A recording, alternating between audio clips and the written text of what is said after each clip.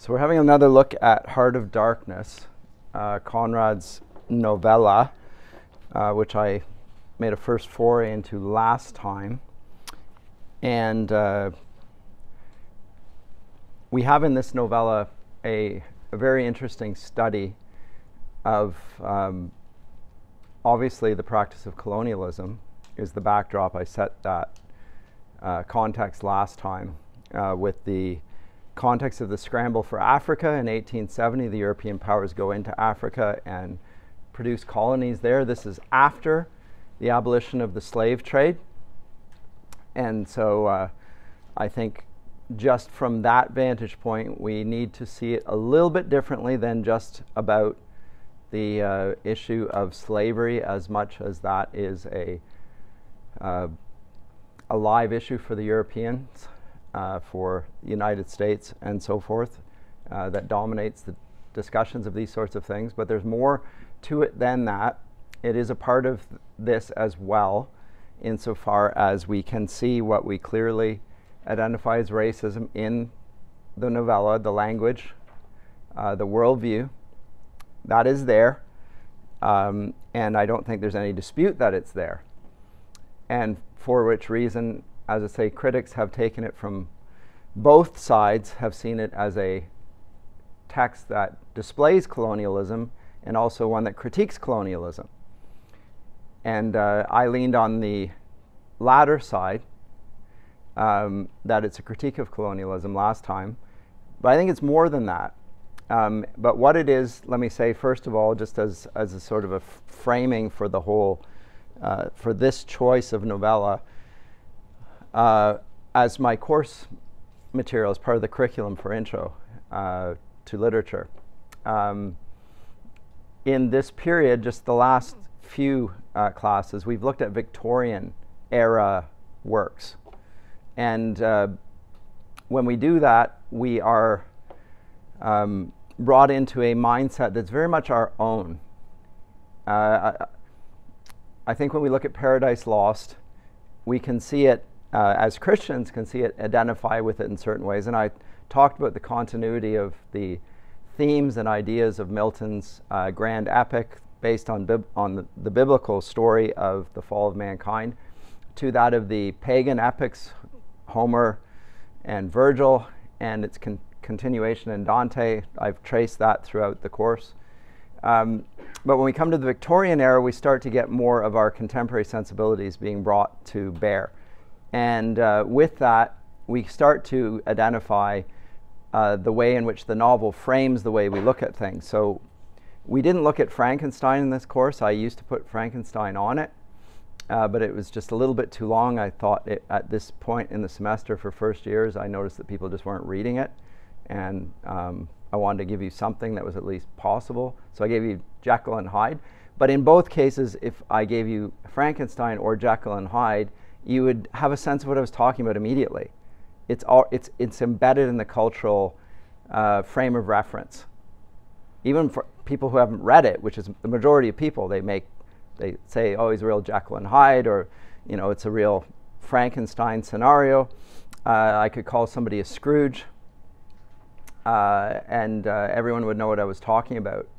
And uh, if we talked about uh, detective fiction, uh, Sherlock Holmes type thing, immediately people would resonate with it. And again, uh, Dickens, Dickensian London, everyone knows what that means because of the influence of these novels. It's just passed, even when people don't read them, it gets passed on into the cultural framework of reference.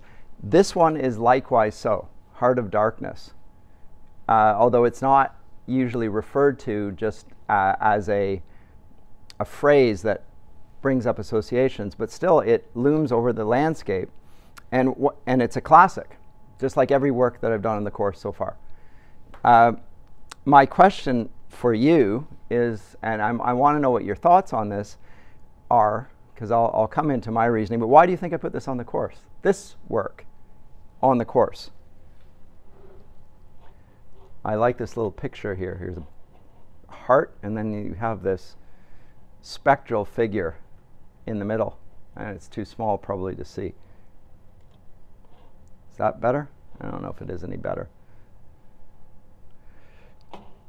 This is the text that we're looking at. But that's the picture. Covers, different covers. Never mind, don't get sidetracked by the covers. Why do you think I put this text on the course? I, I can choose any text I want. There's been a continuity of themes, and I've tried to build and talk about how certain works respond to previous works. Uh, sure. I'm not looking for, I mean, I have an answer, but I'm interested in what you think.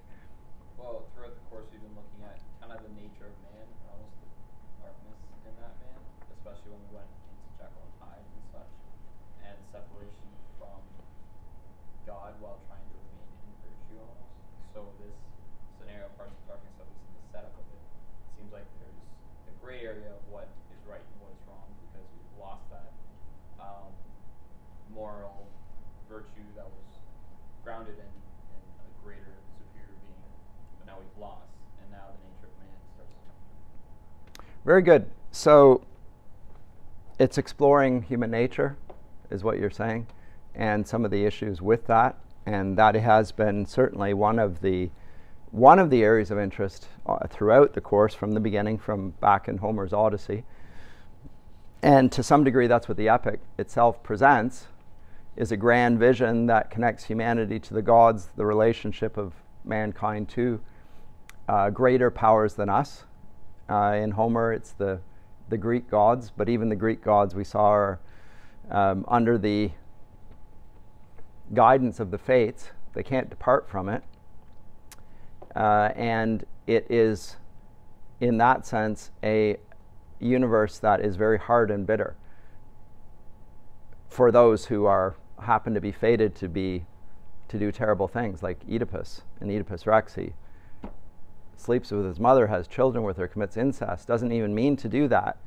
And he is uh, going to suffer and fall for that. He's a tragic hero. He's the not the hero in the sense that we seek to emulate him, but the hero in the sense that he's the main subject of interest. And the tragedy seems to be that the gods uh, are going to judge us uh, for things that were fated.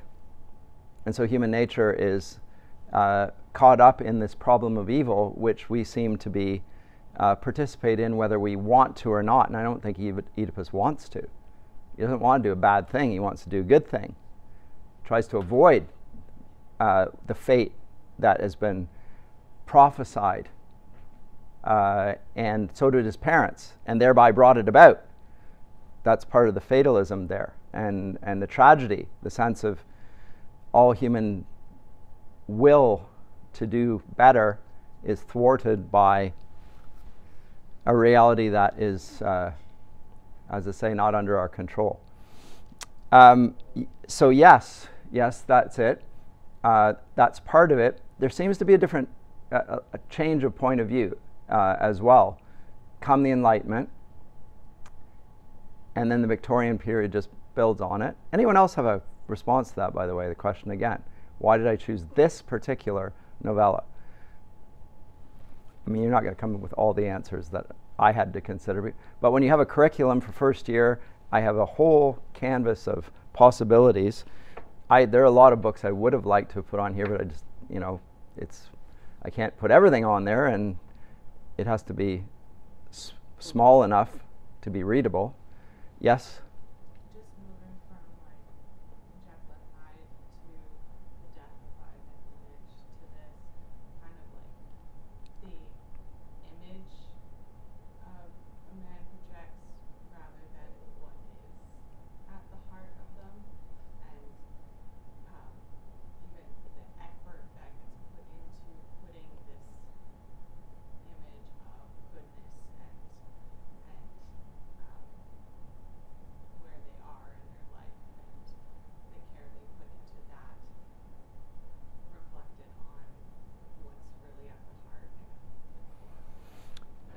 Yeah. Um, so, did everyone here? You did? Okay, good. So, yeah, the last few novels in particular, which are in the Victorian era, um, in particular, uh, dealt with the image that we like to cast for ourselves. So, again, and Hyde and uh, Ivan Illich. the reality that we want to live in and sort of believe that we can will ourselves into. And then there's the reality that we actually inhabit, which doesn't really fit that picture. And Tolstoy critiqued it by observing that this culture that wills itself into a better life can only do so at the reality of, at the expense of uh, rejecting the reality of death, which then comes to them anyway. So it's a very existential category. And I, as I say, he, he talks about suffering and meaning, the meaning of death, but he, he doesn't even talk about the cross, which is an extraordinary thing uh, for a, a so, so-called Christian writer, not to talk about the meaning of the death and resurrection of Christ. He just talks about light and darkness, which is, I think, uh, touching on it in a symbolic way, but not really getting to the, to the crux of the issue. Uh, and Jekyll and Hyde, you're right, how modern science, again, tries to control our reality. It's a sort of a, a technique, an instrument for us to use uh, to try and master our nature, our human nature. But interestingly, the mastery was in getting our, our sinful desires to be able to express them in a way that's under our control. Like we do with gambling or, or other forms of, you know, gambling used to be a absolute no-no in terms of uh, sports. Nowadays, you can bet on absolutely everything. You know, by the pitch or by the kick, who's going to touch. You know, every little you can you can bet on it, and uh, you would have thought the integrity of the game would be at stake. Because if somebody's going to make money off it, somebody's going to be willing to pay somebody to cheat, so that result comes, etc. Right? Um, but this idea of making reality conform to our wishes is very much um, been a discussion point for several classes, even going back to a modest proposal. Right? and the horror that ensues, which is that people are seen as food, which you can make, you can capitalize on. You can solve the problems of life by just make, making your reason an instrumental thing. It's a technique. So yes, those are those are very good, and I think that there is something of that here. And the reason that Heart of Darkness, and again, this is the question that's been posed by those who are new critics of it and say it's a colonialist text is that it doesn't escape the conundrum of colonialism. It just pushes it into the belt. The Belgians are responsible for colonialism. I think that's where I left off last time. Let me see here. Go to. Oh, we're going to find the page number here. But he goes to Belgium, to Brussels, which he he describes as a whitewashed sepulchre, biblical language, obviously referring to the Pharisees. Jesus calls them whitewashed sepulchres, right? But he goes there and he sees uh, a city that he is associating and, and clearly uh, marking as doing something morally reprehensible. It's associated with this, but, but not him, because he, he's, a, he's a Brit and they're the Belgians, right? And uh, there are two women there dressed in black, and they're knitting. I don't know if you noticed that detail. Let's see if I can find this here. It's sort of hard on this page. Doing it on this rather than a book, but I'm trying to put it on the screen for you here. I'm not going to find it. He's all the way in Central Station there, so I haven't quite got that. So. Uh, Oh, no, we're already in Africa there. We don't want to be in Africa. There we go. Those about to die, we salute you. A knitter, an old knitter of black wool. She thought of these two, these two women who are knitting black, um, something in black. What is it? It's the, it's the, it's for the pall that will go over the, over the caskets when the people come back. So it's making a, an oblique reference to making a funeral shroud, just like Penelope did with the suitors. Remember, Penelope said that she was going to, when you know, I'll marry one of you. My husband's been away for 20 years, and uh, I'm just, and as soon as I finish making a funeral pall for the, for my uh, father-in-law, then I will marry one of you. And she knits it by day and then unknits it by night, right? And deceives the suitors. It goes on for three years. You would have thought they would catch on. Maybe the wine's particularly good. They don't really care that much. Maybe they don't want to marry her enough. I have no idea. Uh, but really, they don't want to marry her anyway. They just want to control the kingdom. And they're enjoying the fruits of that anyway, so who knows? And they catch her eventually. And we looked at that in relation to uh, the Lady of Shalott as well. Again, a reference to it. And again, this is the way texts work intertextually. They make these sorts of references. But here they are doing this for the people that they send as missionaries. By the way, it's called a mission. And that's not accidental. It, we have a sense that uh, there is a missionary movement here, but it's not a Christian missionary movement. The mission is to get ivory. And so, again, there's a, uh, to my mind, a clear criticism of the practice of sending people out in a colonialist enterprise to take what? The bones of elephants, their tusks in particular, and bring them back to be a symbol of the culture and civilization. And to think that they're being civilized in the process, but they're sending them on a mission. Is this not a critique on Conrad's part of the language, at the very least? I think it is. So, in that sense, it's an obvious crit- critique of colonialism. You know, you're whitewashing it in the language of piety or moral, moralism or civilization, while at the same time you're doing something that isn't there to benefit the Africans, it's just to make yourselves wealthy. And those who are going on the mission are sort of like martyrs. And, and Co- Conrad's Marlowe will be one such martyr because they think he's going to come back dead. Everyone else who they've sent out before has come back dead. And so they do, among other things, they measure his skull they want to take the cranial measurements because they, won't, they might not be able to identify him when he comes back. Note this. She seemed to know all about me and about, about them and about me too. An eerie feeling came over me. She seemed uncanny and fateful. Often far away, I thought of these two guarding the door of darkness Knitting black wool is for a warm pall. One introducing, introducing con- continuously to the unknown, the other scrutinizing the cheery and foolish faces with unconcerned old eyes. These are fates. They're the fates, the, the women. Ave, it's a greeting in Latin. Ave, old knitter of black wool. Morituri te salutant. Those who are about to die, we salute you.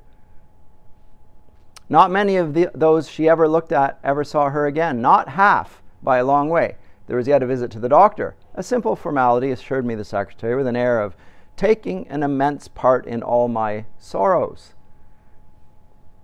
Accordingly, a young chap wearing his hat over the left eyebrow, some clerk, I suppose. There must have been clerks in the business, though the house was still as a house in the city of the dead. He was shabby and careless with ink stains on the sleeves of his jacket, and his cravat was large and billowy, you know, the neck scarf, under a chin shaped like the toe of an old boot. A little too early for the doctor, so I proposed a drink, as in alcohol. It's a little too early, well, let's have a shot. And then he says, I'm not such a fool as I look, quoth Plato to his disciples. He said, sententiously, empties his glass with great resolution, and we arose the old doctor felt my pulse, evidently thinking of something else the while. Good, good for there, he mumbled. Good for there. Why good for there? You're not going to live there anyway. In other words, you're in bad health, you're in poor health. It's, it's a good pulse for there. He mumbled, and then with a certain eagerness asked me whether I would let him measure my head. Rather surprised, I said, Yes when he produced a thing like calipers and got the dimensions back and front in every way, taking notes carefully. He was an unshaven little man in a threadbare coat like a ga- gabardine with a, his feet in slippers, and I thought him a harmless fool. I always ask leave, in the interests of science, to measure the crania of those going out there, he said. And when they come back too, I asked, Oh, I never see them, he remarked. And moreover, uh, moreover, the changes take place inside, you know. This is the point that it's not, I can't measure what's going to happen to you when you go into this country because it's not going to be a physical change. That's not going to be what happens there. It's what happens inside to a person, a European who goes into Africa, who uh, goes in the name of power and exploitation and presumes himself to be civilized, what happens when he gets that power? And can do with it what he will? He smiled as if some quiet joke. So you were going out there. Famous. Interesting, too. Gave me a searching glance and made another note. Ever any madness in your family? He said in a matter of fact tone. I felt very annoyed. Is that question in the interest of science, too? It would be, he said, without taking any notice of my irritation, interesting for science to watch the mental changes of individuals on the spot. But are you an alienist? I interrupted. Every doctor should be. A little, answered that original imperturbably. I have a little theory which you, messieurs, who go out there, must help me to prove. This is my share in the advantages my country shall reap from the possession of such a magnificent dependency. The mere wealth I leave to others. Pardon my questions, but you are the first Englishman coming under my observation. I hastened to assure him I was not in the least typical. If I were you, said I, I would not wouldn't be talking like this with you. What you say is rather profound and probably erroneous, he said with a laugh. Avoid irritation more than exposure to the sun. Adieu. How do you English say? Eh? Goodbye. Ah, goodbye. Adieu. In the tropics, one must have, before everything, keep calm. He lifted a warning forefinger. Du calm, du calm.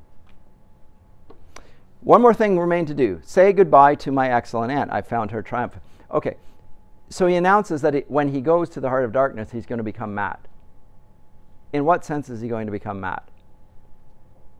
But we're, we're, we're getting to, again, for those who just see this as a colonialist text uh, that is depicting the Africans as only so much chattel, like property, or are they actually reading the text? I'm, I, I find it extraordinary. There's a lot more going on in the text than that. Uh, he is going to, uh, it's sort of a morbid fairy tale, is this uh, work. Uh, he's now enlisted for a Belgian trading company. Let me skip over this. Uh, and he wants to meet, and uh, I'll skip over this a little bit so that we can get on with the story.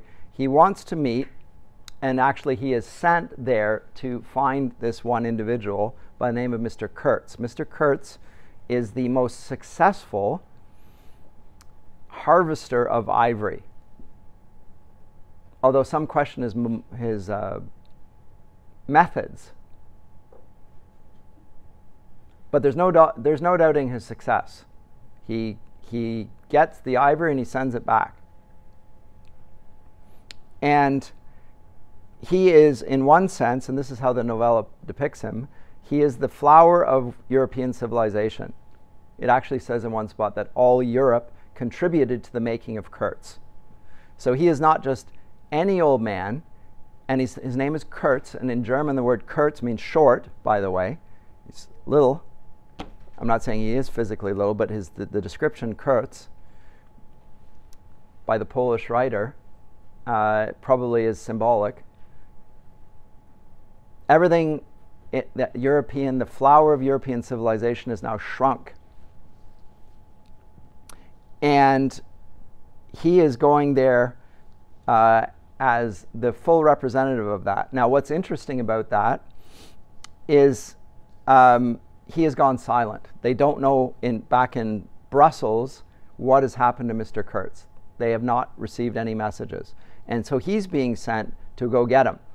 Go find him, this man.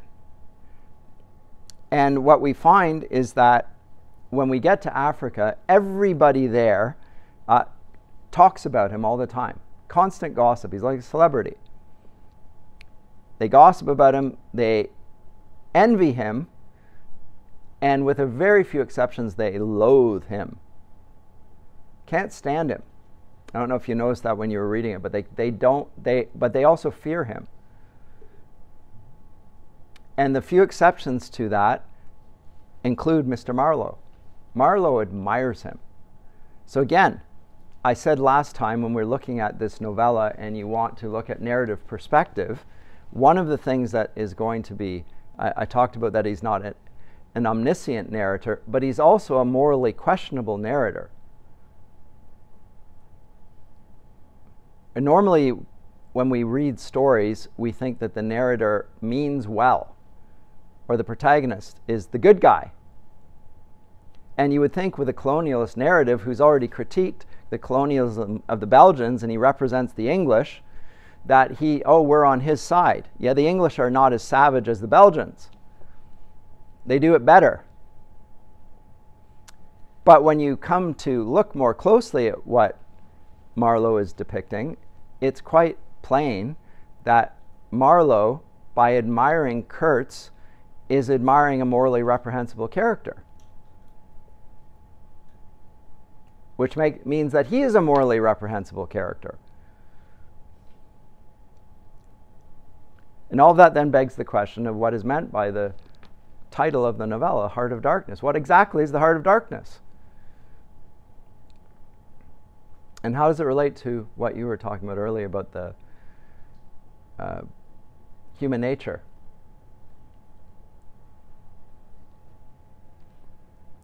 Uh, when you get actually into Africa, it's, it's, a, it's a little vague, just like throughout the novella.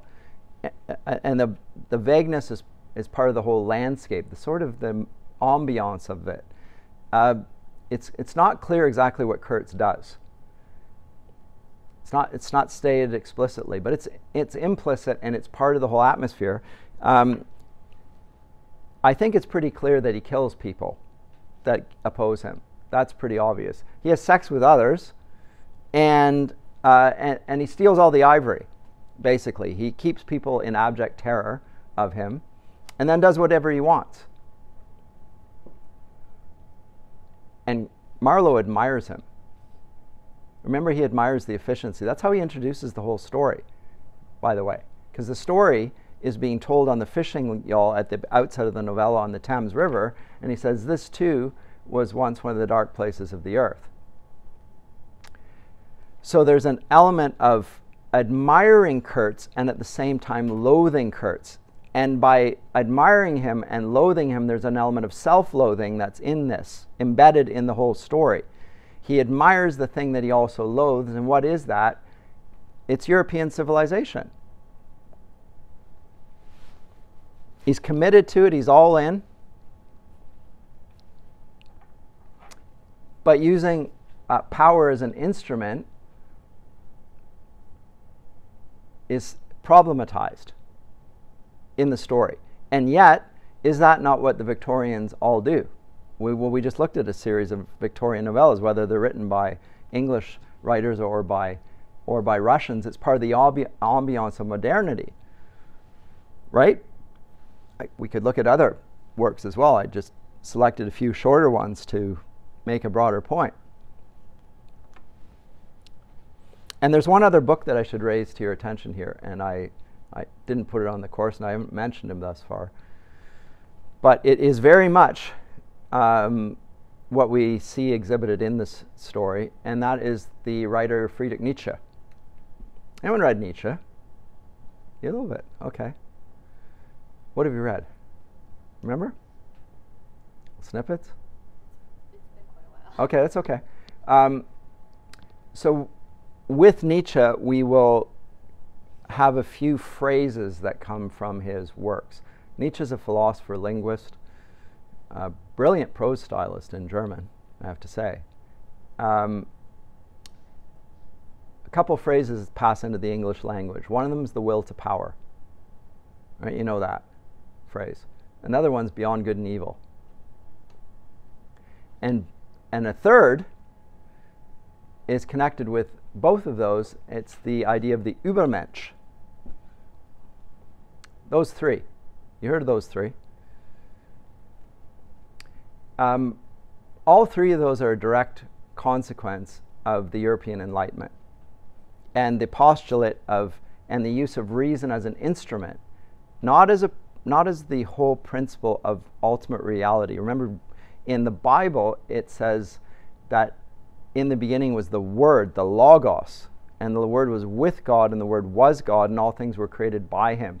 So the Word rationality is intrinsic in the universe. This is the way reality works. The medieval period is thoroughly rational. It sees the, the order and the purpose and the meaning of the, of the cosmic, cosmically ordained natural reality that we call creation. God's reason is there, and the heavens declare it. And so does the earth. Psalm 19, you can talk about the heavens declare the glory of God. And all of the created order has a rationality to it because it's been made by the Logos of God. We can reason about it, we can speak about it, we can understand it. Modern science focuses not on the purposes of the creation, but on how we can use reason as an instrument to try and exploit it, to gain power over nature. This is the shift that comes with Descartes. I talked about that, right? The cogito. I'm going to doubt everything. I'm going to doubt absolutely everything in order to gain certainty. But the certainty is the certainty that I build from myself outward.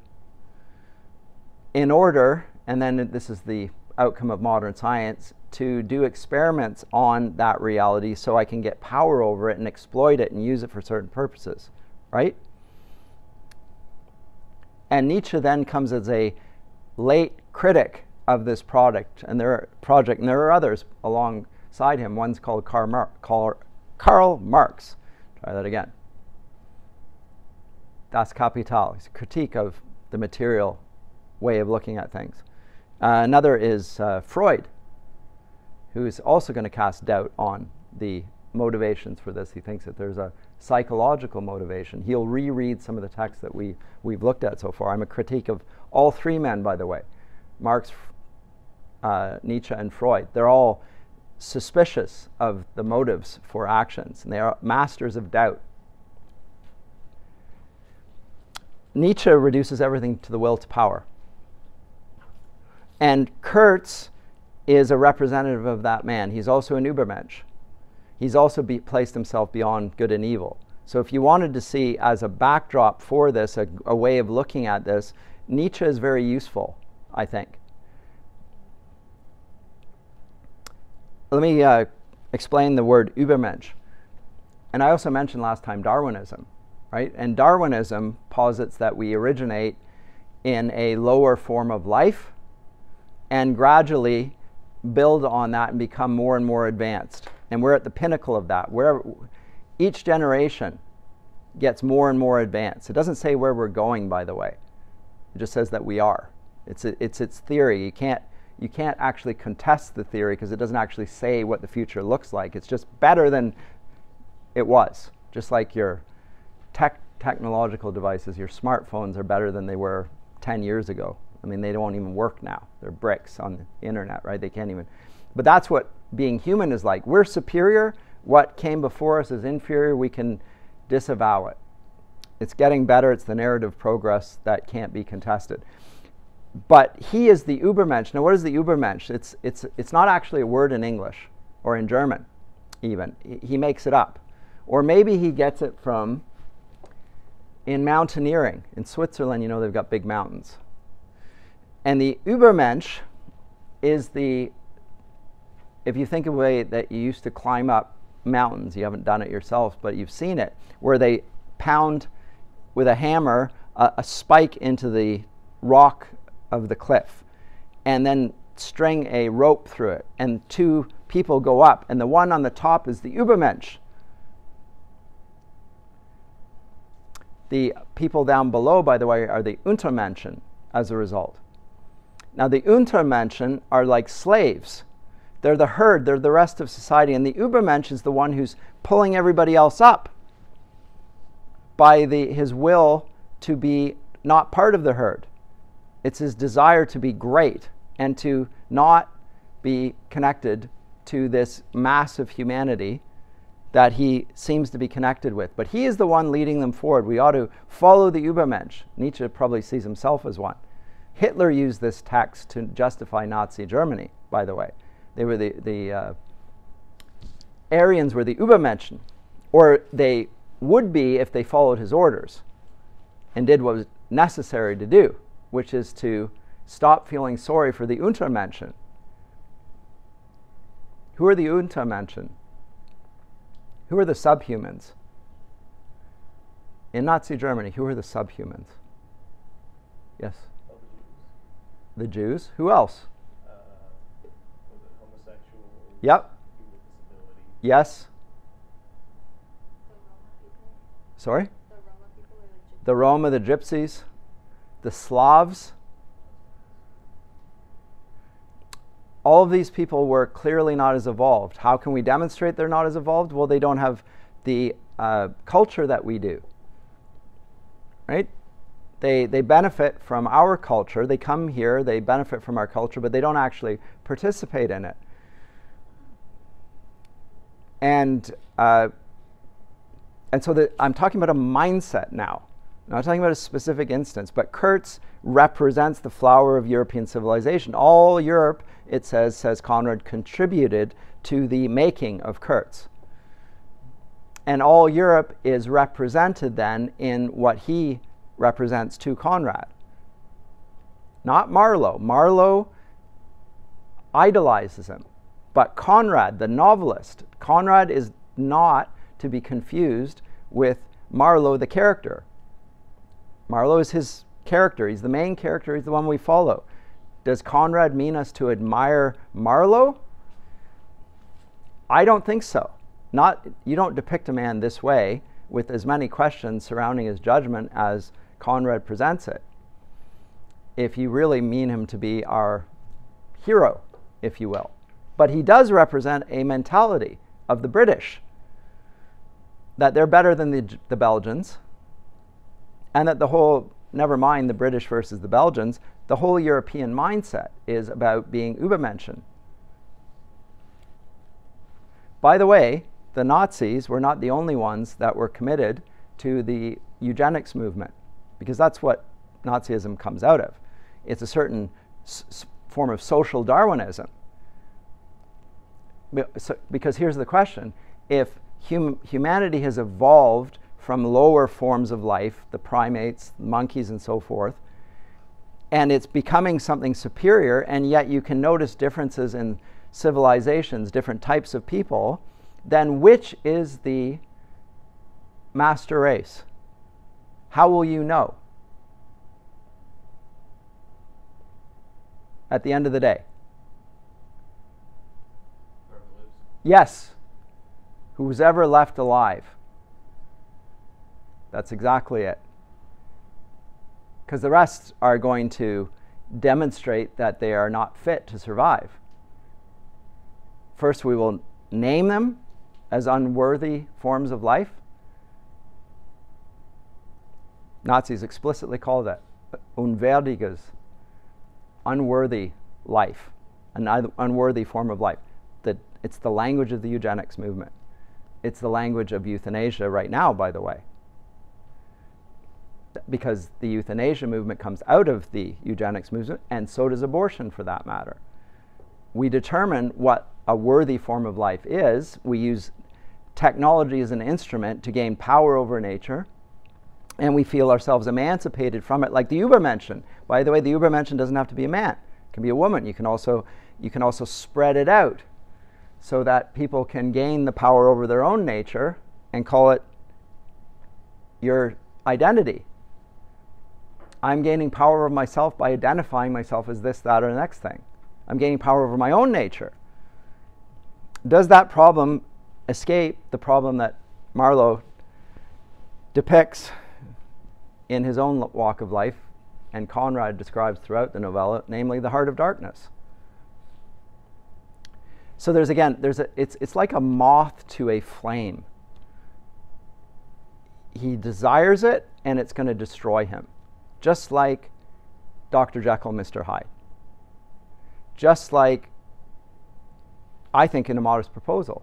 Here's a civilization that's committed to a certain thing and it does so at the expense of its own humanity.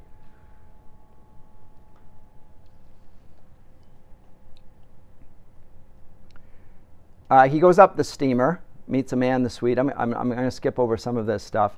But let's get a little depiction here of this is the sort of thing that the Nigerian novelist Chinua Achebe critiqued here, which is the depiction of the Africans. Says that they're, they're uh, presented in animalistic fashion. They're not admirable, they have no moral nature at all.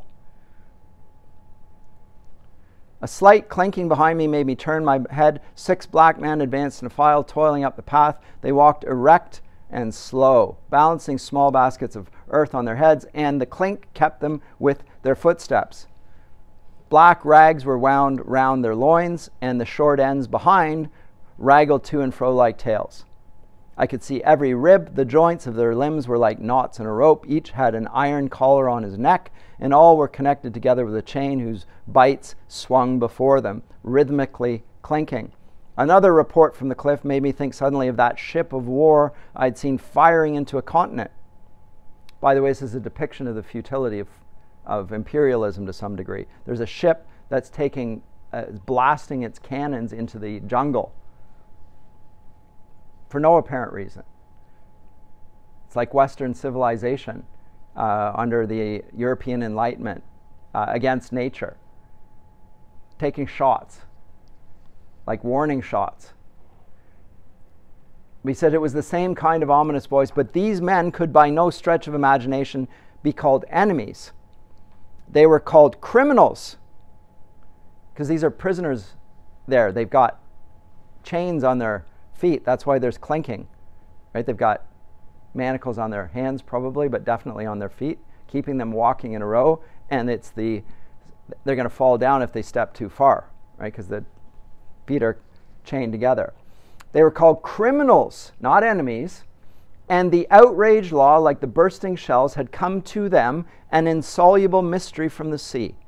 All their meager breasts panted together, the violently dilated nostrils quivered, the eyes stared stonily uphill. They passed me within six inches, without a glance, with that complete death like indifference of unhappy savages. Behind this raw matter, one of the reclaimed, the product of the new forces at work, strolled despondently carrying a rifle by its middle. He had a uniform jacket with one button off and seeing a white man on the path, hoisted his weapon to his shoulder with alacrity. He acted white, disciplined, ordered, put on the show. This was simple prudence, white men being so much alike at a distance that he could not tell who I might be. He was speedily reassured, and with a large, white, rascally grin and a glance at his charge, seemed to take me into partnership in his exalted trust. After all, I also was a part of the great cause of these high and just proceedings. Civilization's on trial. The Africans are on trial. They're criminals. What crime have they committed? Who knows? It's not said. Doesn't matter. You're on the side of the advance of civilization. And how do we know that we're advancing? Because we've got the power. Instead of going up, I turned and descended to the left. My idea was to let that chain gang get out of sight before I climbed the hill.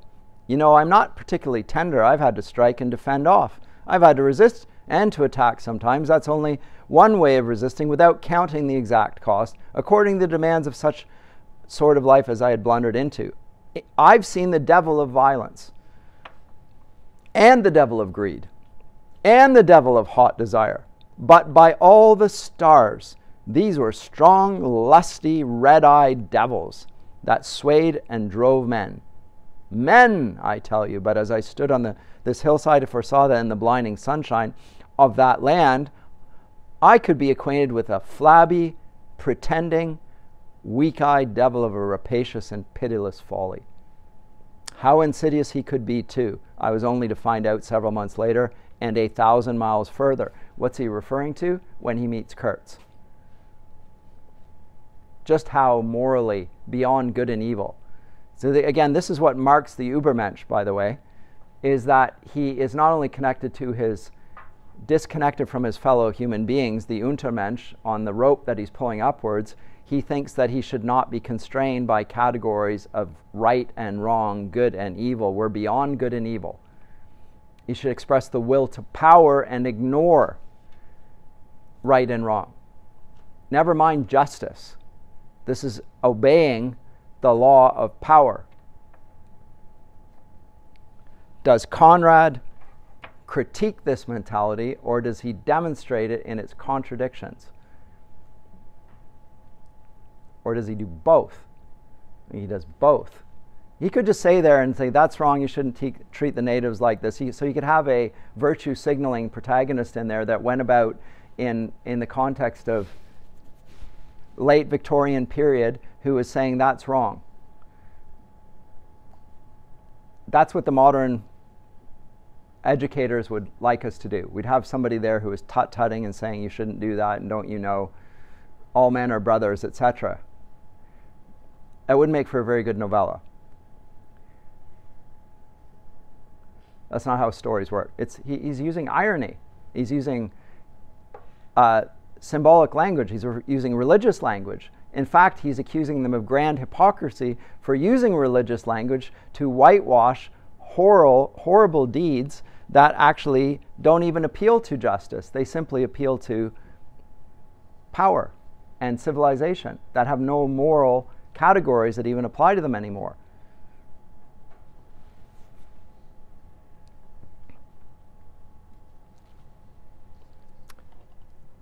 Any comments about this?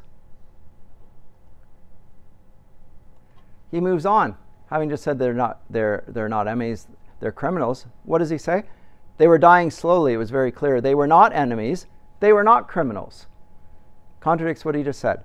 They were nothing earthly now nothing but black shadows of disease and starvation, lying confusedly in the greenish gloom. Brought from all the recesses of the coast and all the legality of time contracts, lost in uncongenial surroundings, fed on unfamiliar food, they sickened, became inefficient. Remember, he talked about the importance of efficiency. It's what distinguishes us from the Romans became inefficient and were then allowed to crawl away and rest. These moribund shapes were free as air and nearly as thin. I began to distinguish the gleams of the eyes under the trees. Then, glancing down, I saw a face near my hand, the black bones reclined at full length, with one shoulder against the tree, and slowly the eyelids rose and the sunken eyes looked up at me, enormous and vacant, a kind of blind, white, flicker in the depths of the orbs which died out slowly. The man seemed young, almost a boy, but you know, with them it's hard to tell. Who's the with them? Is it with the Africans? Is it with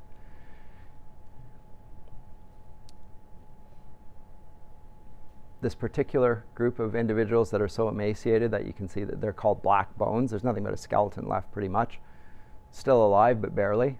How can you tell how old a person is when, all they, when they look like old men? Or is he making a more general description?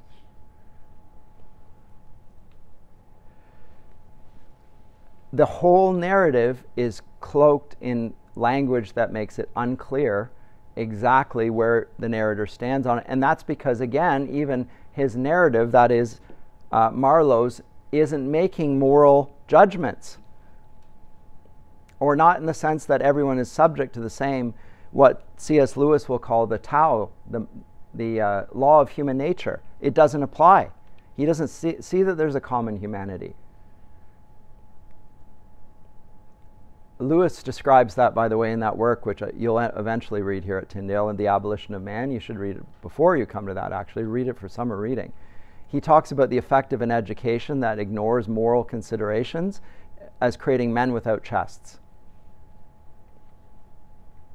There's no, they're not taught to understand that there is one moral law under which every person is subject. They think that they're above that, they're the Übermenschen, and they can kick away good and evil and right and wrong. They'd be beyond good and evil.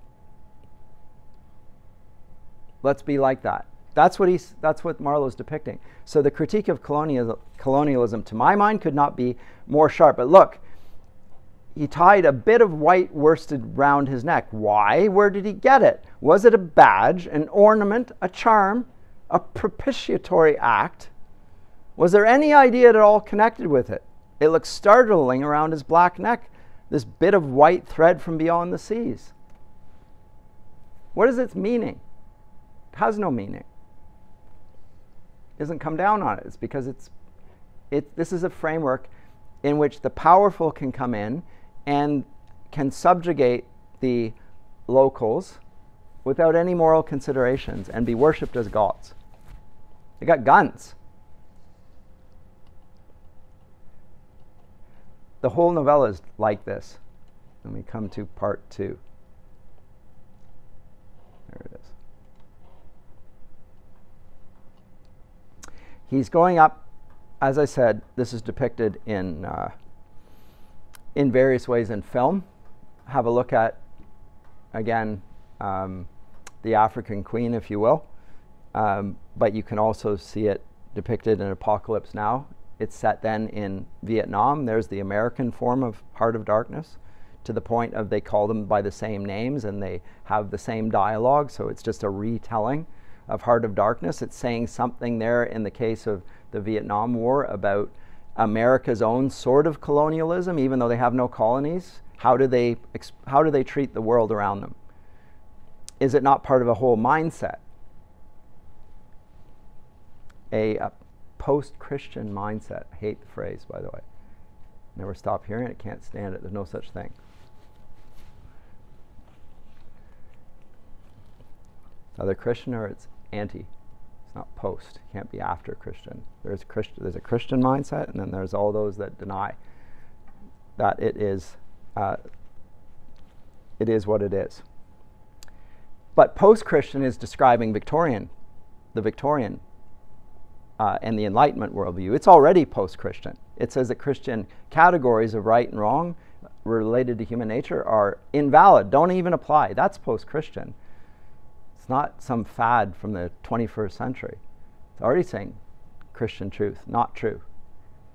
There is no law of human nature. But he's on the steamboat and he's going upriver and he is going towards Mr. Kurtz. And they had been talking about Kurtz. And as he goes up the river, he gets, well, he's going into the jungle, so it's dark.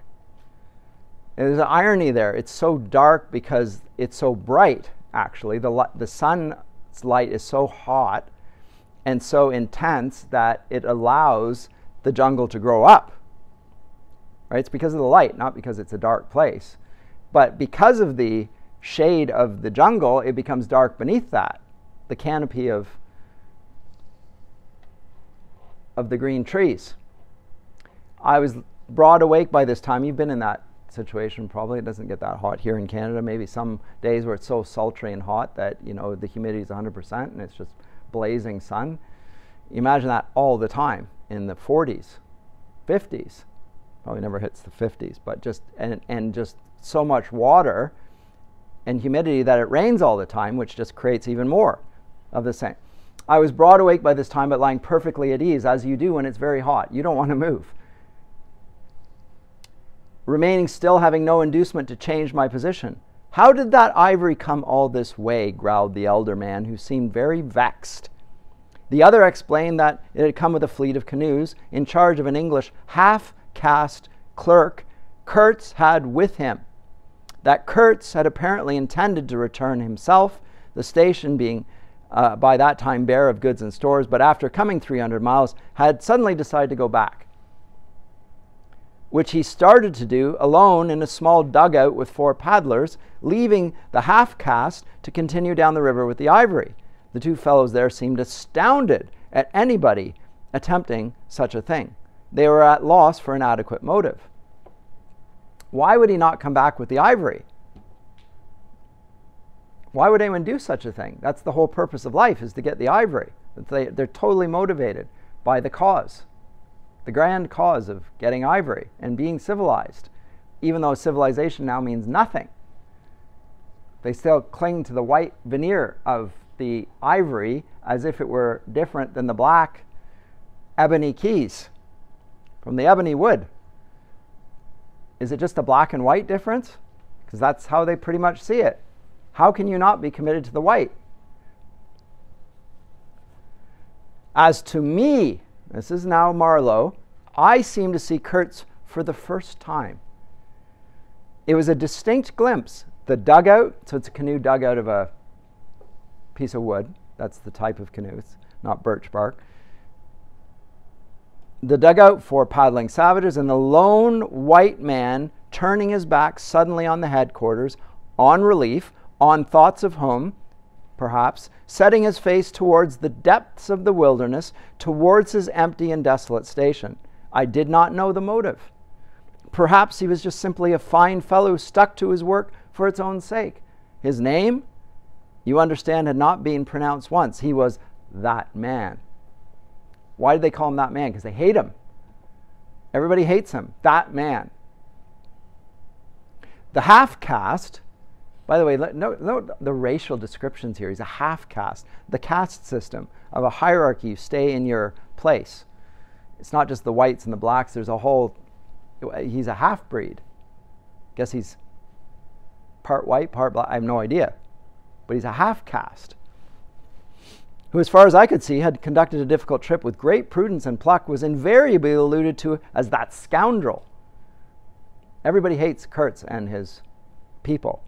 The scoundrel had reported that the man had been very ill, had recovered imperfectly. The two below me moved away then a few paces and strolled back and forth at some little distance. I heard, military post, doctor, 200 miles, quite alone now, unavoidable delays, nine months, no, no news. Strange rumors.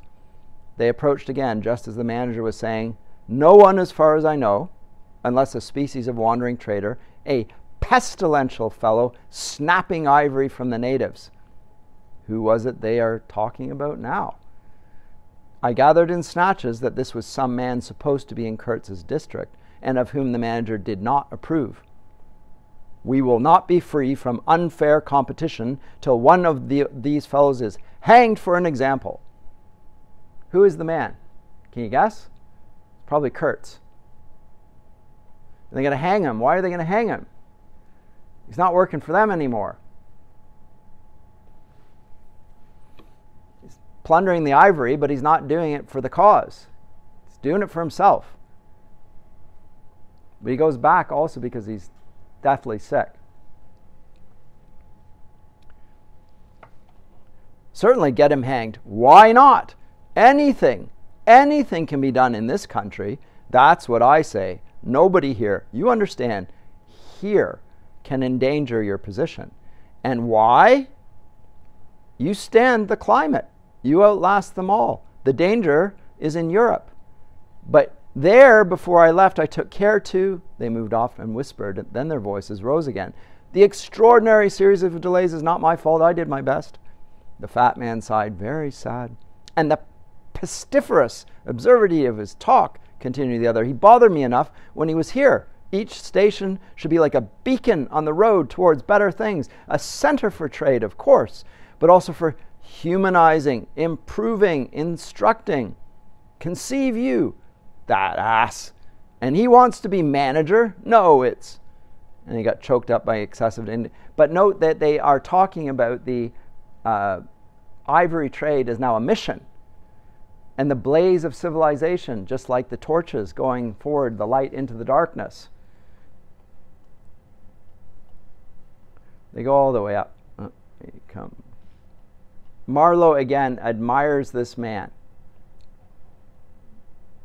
crawling slowly towards Kurtz. Prehistoric man was cursing us, praying to us, welcoming us. Who could tell? We were cut off from the comprehension of our surroundings. We glided past like phantoms. Remember, they just referred to the black skeletons as phantom like? They are becoming like that themselves. They're losing their humanity as they go further and further into the darkness. We are, the earth seemed unearthly.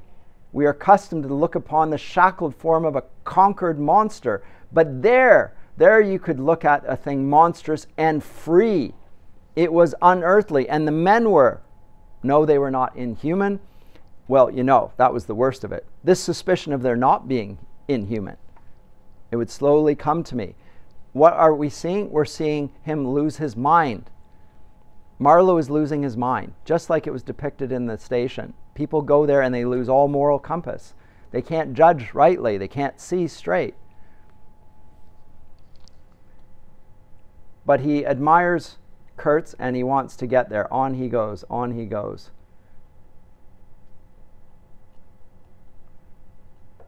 As they get closer and closer, they finally will get to see Mr. Kurtz.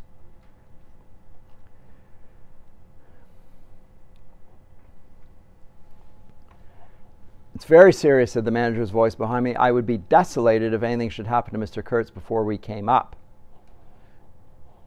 I looked at him and had not the slightest doubt he was sincere. He was just the kind of man who would wish to preserve appearances. He's happy being a hypocrite. Wants to keep the surface appearance. That was his restraint.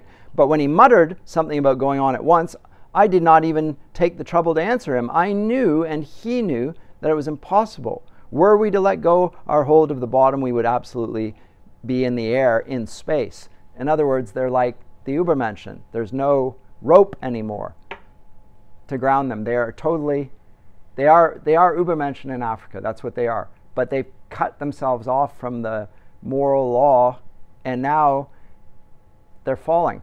They're in free fall. I did not think that the natives would attack for several obvious reasons. The thick fog was one. If they left the bank in their canoes, they'd get lost in it, and as would we if we attempted to move. Still, I had also judged the jungle of both banks quite impenetrable, and yet eyes were in it, eyes that had seen us. The riverside bushes were certainly very thick, but the undergrowth behind it was evidently penetrable. And you should have seen the pilgrims stare. Again, pilgrim. Pilgrims, Christian language. They had no heart to grin and, or even to revile me, but I believe they thought me gone mad. With fright, maybe. Irony. I delivered a regular lecture. My dear boys, it was no good bothering. Keep a lookout. Well, you may guess I watched the fog for the signs of lifting as a cat watches a mouse. But for anything else, our eyes were of no more use to us than if we'd been buried miles deep in a heap of cotton wool. I felt like it too, choking, warm, stifling. And they come closer to closer to Kurtz's station. I need to get to the encounter here properly.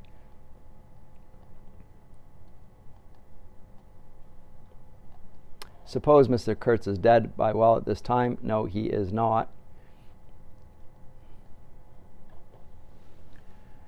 And now the narrator comes in and he describes Marlow from the outside. There was a, uh, a uh, pause of profound, give me some tobacco, pause of profound silence, then a match flared and Marlow's lean face appeared. The fire lights his face so he can see it.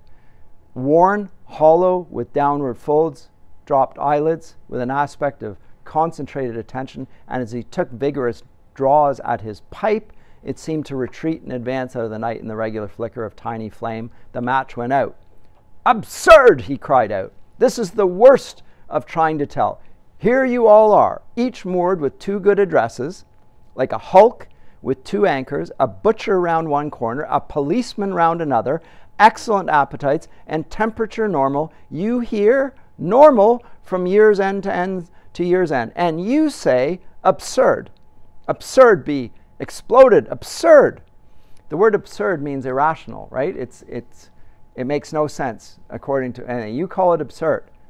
and you, yet you still have the trappings of civilization. So here's a man who is, is angered at everyone else's total loss of moorings around him. My dear boys, what can you expect from a man who is out of sheer nervousness and had just flung overboard uh, a pair of new shoes? I was cut to the quick at the idea of having lost the inestimable privilege of listening to the gifted Kurtz. By this point, it's just idol worship. He, he represents him. Marlow, he admires him. This is what he's like. He wants to be there. I laid the ghost of his gifts at last with a lie, he began suddenly. Girl, what? Did I mention a girl? Oh, she's out of it completely. They, the woman, I mean, are out of it should be out of it. We must help them to stay in the beautiful world of their own, lest ours gets worse. Oh, she had to be out of it. You should have heard the disinterred body of Mr. Kurtz saying, My intended. A woman back in Europe who he's left behind. He's got a mistress there, but there's a woman he's going to marry back in Europe. Is intended. What we come. I'm not going to get to it probably because of my dallying here. Um, but his head's like an ivory ball. Fascinating description here. Again, the little subtle ways in which he's. Um, and he's thinking about Kurtz. And he's thinking of him in terms of the will to power. Let me read this. By the simple exercise of our will, we can exert a power for good, practically unbounded, etc., etc. From that point, he soared and took me with him. The peroration, so the conclusion of his speech, was magnificent, though difficult to remember, you know. It gave me the, sort, the notion of an exotic immensity ruled by an august benevolence. It made me tingle with enthusiasm. This was the unbounded power of eloquence, of words, of burning noble words. There, was, there were no practical hints to interrupt the magic current of phrases, unless a kind of note at the foot of the last page, evidently scrawled evidently much later, in an unsteady hand might be regarded as an exposition of a method. It was very simple. And at the end of that moving appeal to every altruistic sentiment, it blazed at you, luminous and terrifying, like a flash of lightning in a serene sky. Exterminate all the brutes. There's what he wrote. Kill them all. And who is moved by this? Marlow. So moved As, at the goodness of this, august benevolence, power. He calls it my pamphlet, as it's sure to have in the future a good influence upon his career. Exterminate all the, all the brutes. And then we see a slow process, and I am going to have to come to this, and I'm going to struggle to find it here. It's so slow in its depiction. I guess it's in three. But you can see uh, Kurtz has now become a megalomaniac and is willing to kill everybody around him. And Marlow admires him. And this is his manifesto after all of this he's going to gain power simply by killing all those around him. The brutes, you know, he sees no humanity between himself and the African men he sees there.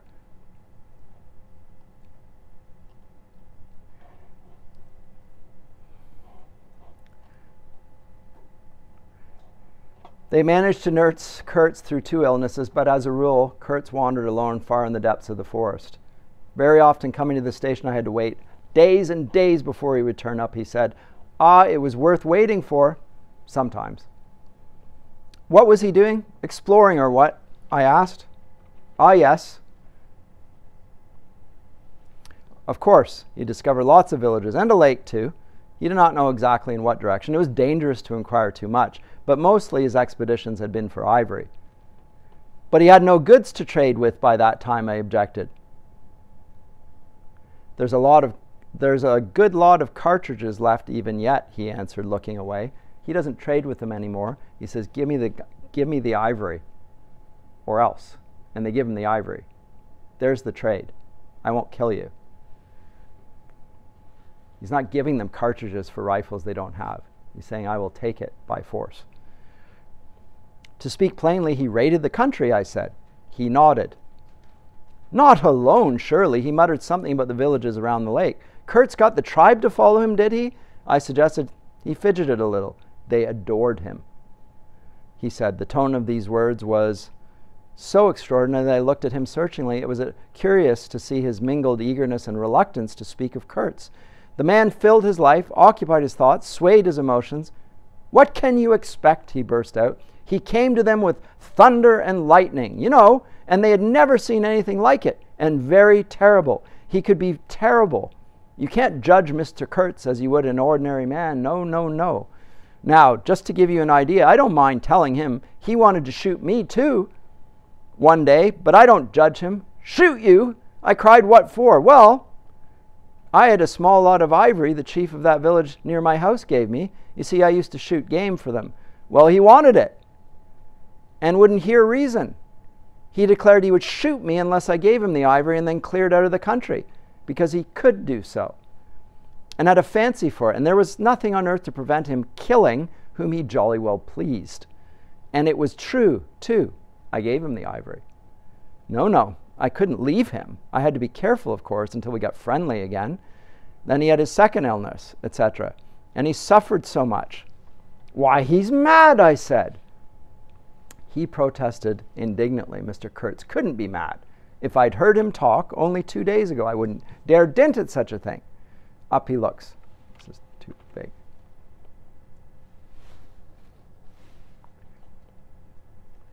The admirer of Mr. Kurtz was a little crestfallen. In a hurried, indistinct voice, he began to assure me he had not dared to take these symbols down. What are the symbols? They're the heads of the tribesmen on poles as a warning. He hadn't dared to take them down.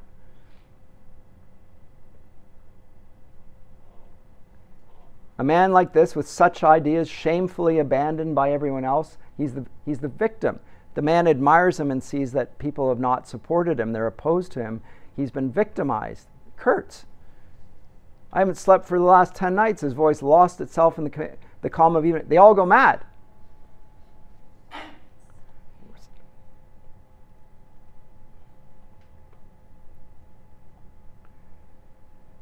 Okay, so now comes the woman who is his mistress. She walked with measured steps, draped in a striped and fringed cloth, treading the earth proudly with a slight jingle and flash of barbarous ornament. She carried her head high. Her hair was done in the shape of a helmet. She had brass leggings to the knee, brass wire gauntlets to the elbow, a crimson spot on her tawny cheek, innumerable necklaces of glass beads on her neck, bizarre things, charms, gifts of witch men that hung about her, glittered and trembled at every step. She must have had the value of several elephant tusks upon her. She was savage and superb, wild eyed and magnificent. There was something ominous and stately in her deliberate progress. And in the hush that had fallen suddenly upon the whole sorrowful land, the immense wilderness, the colossal body of the fecund and mysterious life seemed to look at her pensive as if though it had been looking at the image of its own shadowy, tenebrous, and passionate soul. On she comes. And she comes to Marlow, and she said if she'd co- offered to come aboard, I think I should have shot her, said the man in patches. And at this moment, I heard Kurtz's deep voice behind him, behind the curtain Save me! Save the ivory, you mean? Don't tell me. Save me. Why, I've tried to save you. You're interrupting my plans. Sick, sick. The manager comes out. He's very low, very low. Nevertheless, I think Mr. Kurtz is a remarkable man, I said with an emphasis. He started, dropped on me a heavy glance, said very quietly, He was. And he will sit there and he will sit there, and we will watch the slow process of Kurtz dying. And eventually he does die. Where will we come? I had immense plans.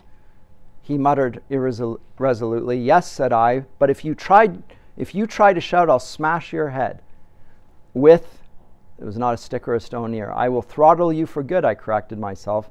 I was on the threshold of great things. He pleaded in a voice of longing and a wit- wistfulness of tone that made my blood run cold. And now for this stupid scoundrel. Your success in Europe is assured in any case, I affirmed steadily. I did not want to have the throttling of him, you understand, and indeed it would have been very little use for any practical purpose.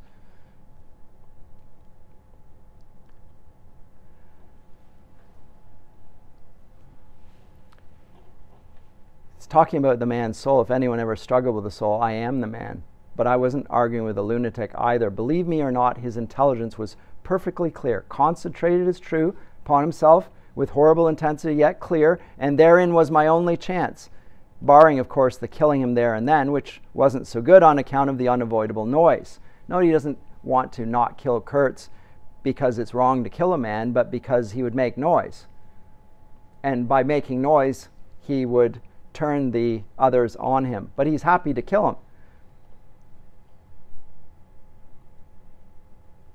Kurtz's discourse, by this point, he's not a body, he's just a voice. A voice, a disembodied voice, like Europe which he represents.